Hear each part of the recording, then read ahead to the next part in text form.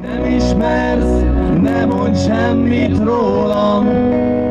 Ötödik alkalommal rendezték meg szombathelyen a hazai zene ünnepét, a Magyar Dalnapját. Két színpadon követték egymást a koncertek. Ami az újdonság, hogy van egy Miénk itt a tér utcazenés színpad, hiszen e- ezen a nyáron nagyon sok utcazenész népesítette be a főteret, és nekik adunk lehetőséget itt a Magyar Dalnapján, hogy egy kis színpadon előadhassák a gondolataikat, meg a dalaikat. Az idei rendezvényen sokféle zenei műfaj képviseltette magát. Felléptek szombathelyi kötődésű, tehetséges fiatal zenészekből álló zenekarok és rutinosabb, ismertebb formációk is.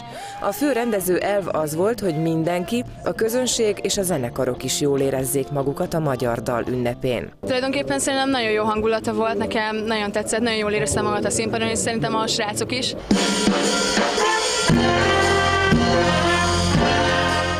Szombaton Big Band zenekarok népesítették be a főtéri nagy színpadot. A jubileumi tizedik fesztiválra a házigazda Isis Big Band mellett Mosonmagyaróváról, Kapuváról és Nagykanizsáról érkeztek együttesek.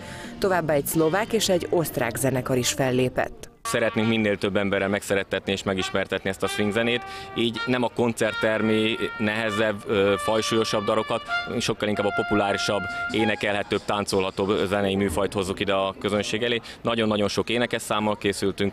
Got